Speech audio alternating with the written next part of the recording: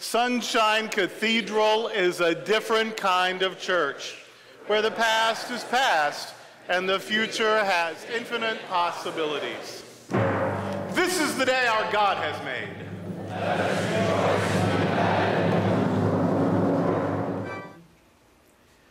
Welcome to Light for the Path, which is our weekly online Bible study here at Sunshine Cathedral. I'm Durrell Watkins, the senior minister here at Sunshine Cathedral, and with me is Reverend Ann Atwell, who is the Minister of Connections, also here at Sunshine Cathedral. Uh, we hope you'll join us whenever you're in the area. Our worship is at 9 a.m. and 11 a.m. here at 1480 Southwest 9th Avenue in Fort Lauderdale. Uh, and of course, there's a lot of stuff online. We're on Facebook, we're on Twitter. You can find us all kinds of ways.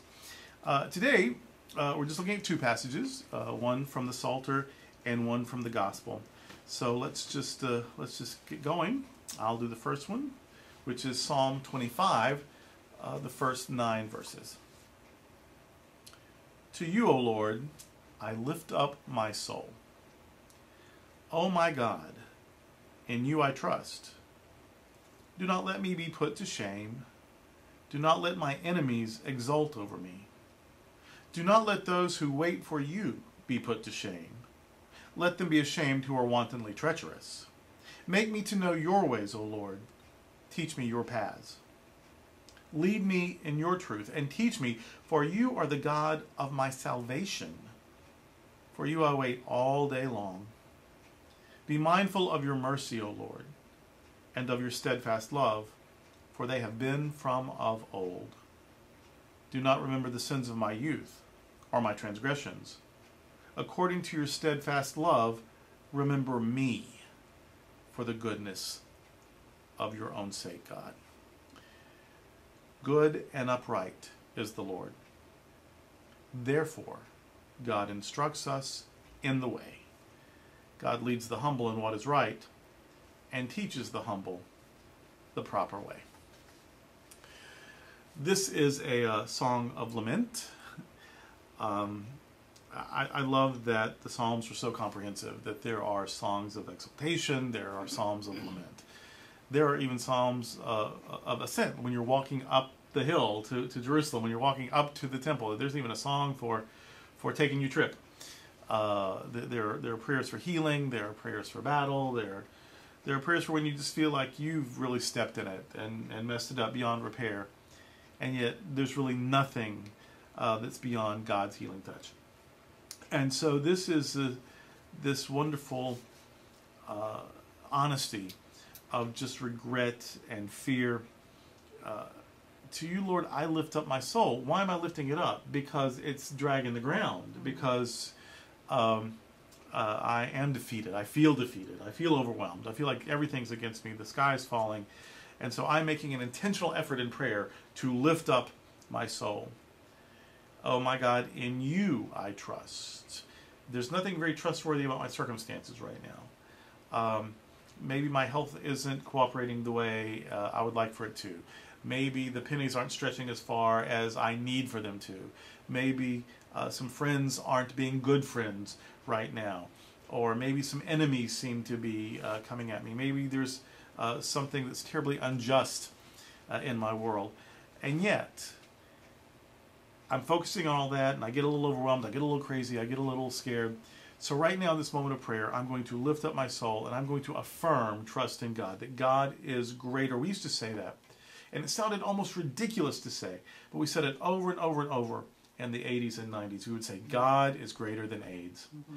God is greater than AIDS. We would say it at funerals. We would say it, you know, uh, at the bedside of people in comas, and we would say, God is greater than AIDS.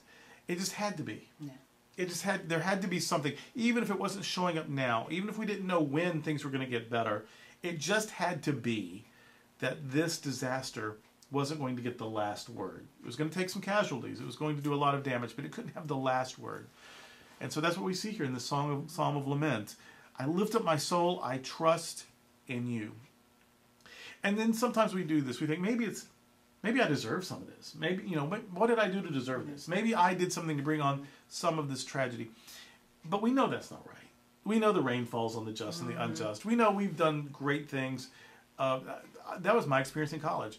Uh, I worked hard for my statistics class, and I even made a grade in the 80s, but which was like a B Right. in most Right. classes, not in this professor's class.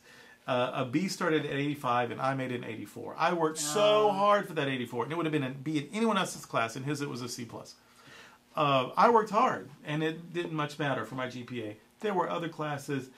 For my Spanish labs, I don't remember going to Spanish lab. I don't think I ever went to Spanish lab, and I got an A. Uh-huh. Uh, I can barely read a, a menu in a Mexican restaurant. So we know we have given maximum effort, and who cares? And other times we have phoned it in and it worked out. We know that things don't always work out the way because you earned it, whether it was good or bad.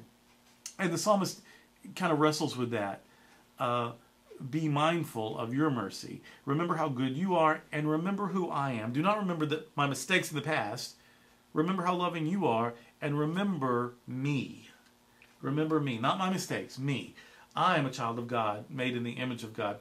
And what he's doing, he's not, or she, probably he, isn't trying to convince God to be merciful. He's probably convincing himself that God is merciful. If nothing else, God is going to love me through this. If nothing else, I'm not alone with this. If nothing else, God's heart is breaking that my heart is breaking. And uh, because God is good.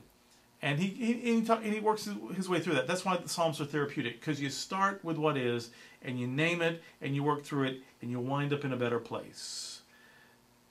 Good and upright is the Lord. Therefore, God instructs us, God leads us, God teaches us the proper way. And so I just think it's a good lesson in um, not blaming ourselves. And if we are tempted to blame ourselves, if we're tempted to give up, if we're tempted to, to be overwhelmed, just to bring all of that into prayer. And just say, like the psalmist did, I lift up my soul, I trust you. I'm going to remind myself that even though other people seem to be out to get me, or a virus is out to get me, or the economy's out to get me, God's not out to get me. God's with me. God's loving me. God's leading me. And just like we said during those terrible AIDS days, this can't be the end of the story. Right. God is greater than whatever it is I'm facing. It is not the final word. It's not the final word. Um, our second reading comes from the Gospel of Mark, chapter 1, verses 9 through 15. In those days, Jesus came from Nazareth of Galilee and was baptized by John in the Jordan. And just as he was coming up out of the water, he saw the heavens torn apart and the Spirit descending like a dove on him. And a voice came from heaven You are my Son, the Beloved. With you I am well pleased. And the Spirit immediately drove him out into the wilderness. He was in the wilderness for forty days, tempted by the accuser. And he was with the wild beasts, and the angels waited on him. Now, after John was arrested, Jesus came to Galilee, proclaiming the good news of God, and saying, The time is fulfilled, and the realm of God has come near.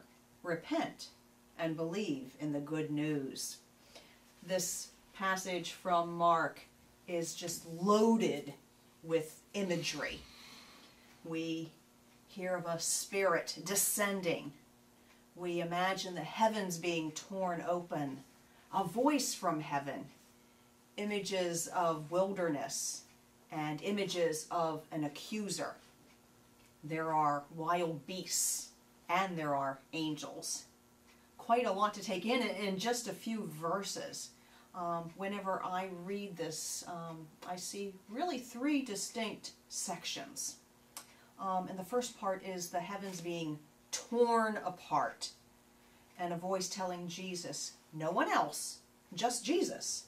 Jesus is the only one who is hearing this, that he is the child of the divine, he is the beloved.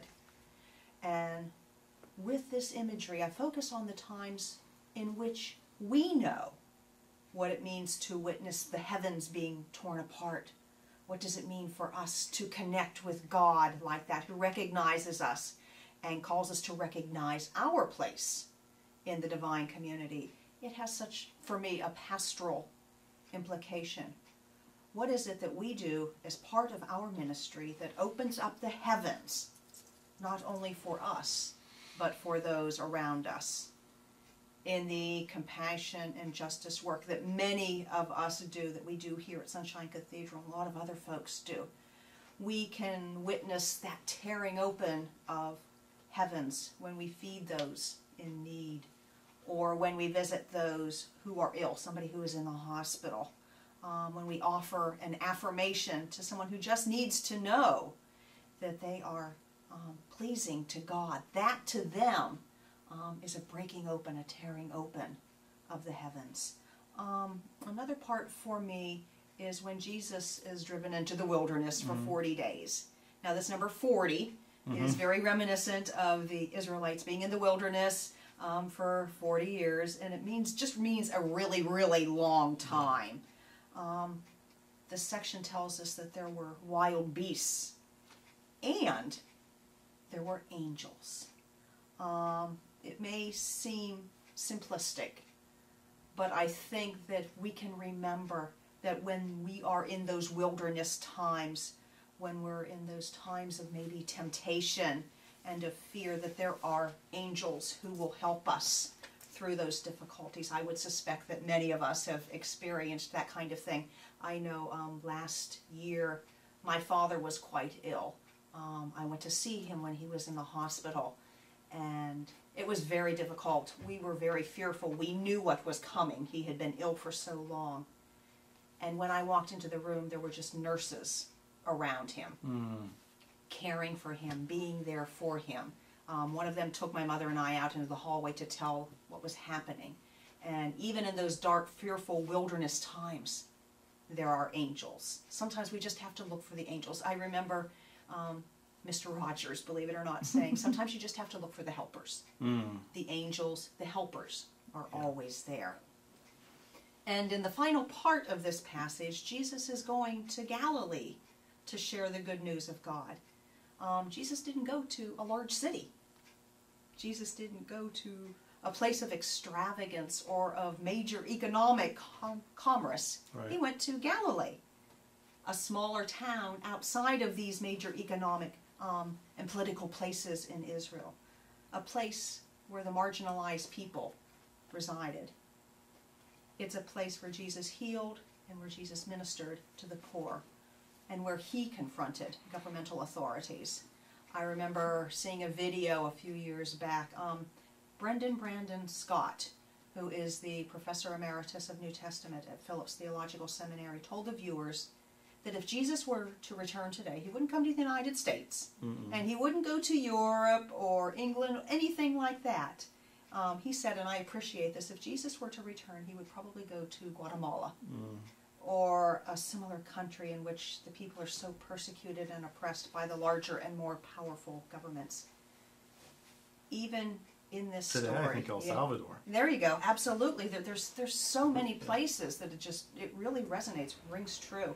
Um, Jesus um, preaches and heals in Galilee, in a small town, to marginalized people, and that can be a hopeful message um, to those who continue to be oppressed today.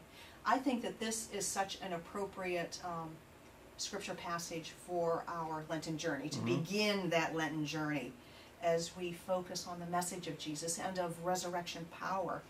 Um, it seems fitting to focus on our sacred nature, um, the presence of angels and of divine love in those wilderness times, and how important it is to take steps um, to assist and to be present to marginalized communities. Absolutely. Um, and I was just thinking uh, about El Salvador when you said Guatemala because Right. of last month uh, a lot of brouhaha So about people having to go back to El Salvador yes. and uh, they they sought safety elsewhere like in the U.S. and they're having to go Mm-hmm. back to a very unsafe Yeah. situation. Um, well, I like to look for parallels uh, in these, and what some that came up for me, uh, they were pretty direct parallels. Uh, Jesus uh, has a wilderness experience, and the psalmist is worried about enemies. He's Right, right. he's in a he, he, he's in a fearful uh, wasteland. Um, there's an accuser sort of nagging at, at Jesus, and the psalmist is doing some self-accusing. Uh, you know, I, I, I messed up. I was. I, don't look at my transgressions from my youth. I, you know, I've made some mistakes. Uh, don't look at. So he's sort of beating himself up. His his own ego is accusing him. His own little sense of little self, separated self. Um, uh, Jesus hears this affirmation. This is, you know, this is my chosen one. This is my child. This, I, I'm, I'm pleased with you. And uh, the psalmist says, "Remember, remember me. Don't don't remember all my mistakes. Remember who I really am. Mm-hmm. I'm, I'm God's child. God's beloved. God's God is well pleased." Um, the uh, uh, Jesus is attended. There's beasts. There's there's the enemies. There there's the troubles, but there's also angels, and angels are are messengers uh, from God. And the psalmist ends with uh, receiving messages from God. Good and upright is the Lord. Therefore, God instructs us. God teaches the humble the proper way, um, and then. Uh, the psalmist, by working out, by praying about, by taking his fears to God, affirming, I, I lift up my soul, I do trust in God, uh, and talking his way through his fear, he gets to this good place. You know, God's God's going to get me through this. God's going to mm-hmm. tell me what I need to do. God's going to teach me what I need to know. I'll be okay. So he he has a change of attitude. He mm-hmm. works through it. And the last line in the gospel is repent, have a change of mm-hmm. attitude, a change of mind, a change of focus, and believe the good news. And that's what the psalmist has done. He's changed his attitude to believe good is possible. And so they were pretty, uh, pretty parallel in ways that aren't always that easy. But these were pretty directly parallel. Right, I absolutely agree. You know, as you were talking about that, I was thinking of the empowering message. Um, the psalmist went to God, but then was empowered by sharing what was happening. And then, okay, I can continue on. This isn't the final thing. I'm empowered now to continue.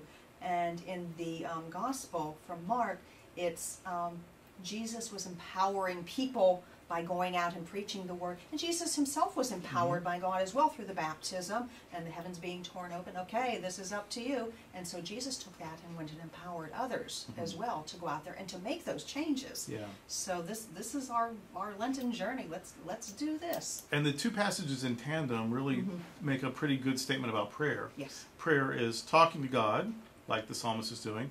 Uh, prayer is self-talk, like the psalmist is doing, so that you talk yourself into trusting God, remembering what God is, remembering the good.